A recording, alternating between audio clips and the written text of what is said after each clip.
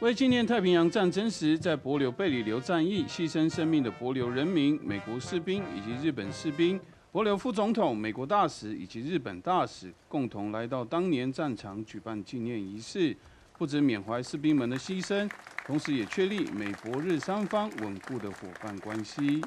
To remember, thank, salute, honor, and pray for all those who lost their lives.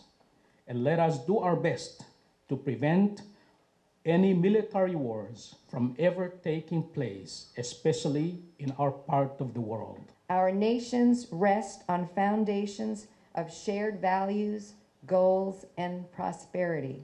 Celebrate that sworn enemies are now friends and allies.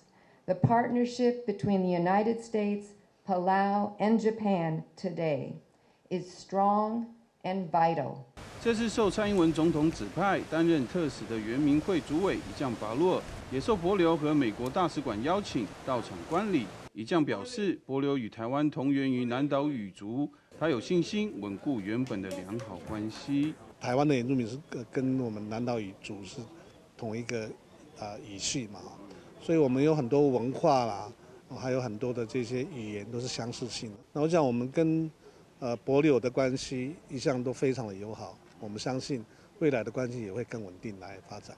圆明会二十九号将在博流的格马荣文化中心举办南岛语言论坛，除了南岛论坛会员国代表，也会邀请专家学者一起探讨语言议题，希望跟南太平洋友邦做进一步的交流。